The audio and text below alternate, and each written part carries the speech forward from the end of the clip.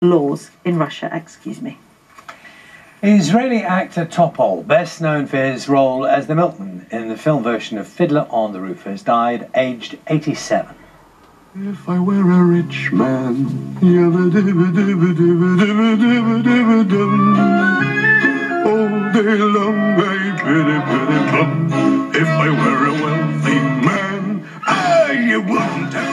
one of Israel's leading actors and was known around the world for his stage and film performances. His credits also include a role in the 1981 Bond film For Your Eyes Only. Time now for a last brief look at the headlines where you are.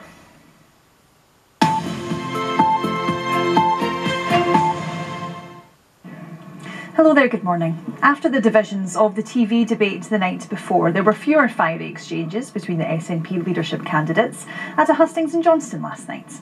Both Humza Yousaf and Kate Forbes committed to banning conversion therapy, with Ms Forbes calling it abhorrent. Ash Regan said she would uphold and advance everyone's rights. A 54 year old woman has died after an alleged stabbing at a supported living facility in Stirling. Police were called to a disturbance on Craighall Street in the Raploch area at around 11 o'clock on Tuesday morning. The woman was taken to the Queen Elizabeth University Hospital in Glasgow, where she later died.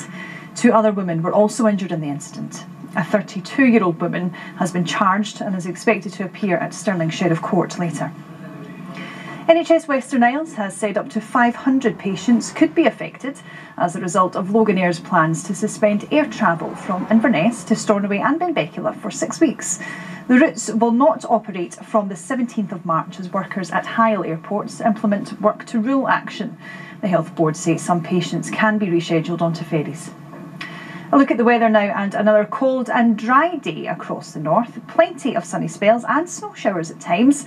In the central belt and the south, cloud building throughout the day with snow arriving later that could potentially be heavy and disruptive. Lows widely below freezing.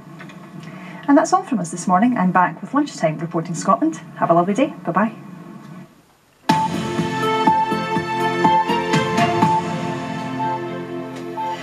It's nine minutes past nine. Uh, you might best recognise Jim Moir as being one half of the comedy duo Reeves and Mortimer, but he's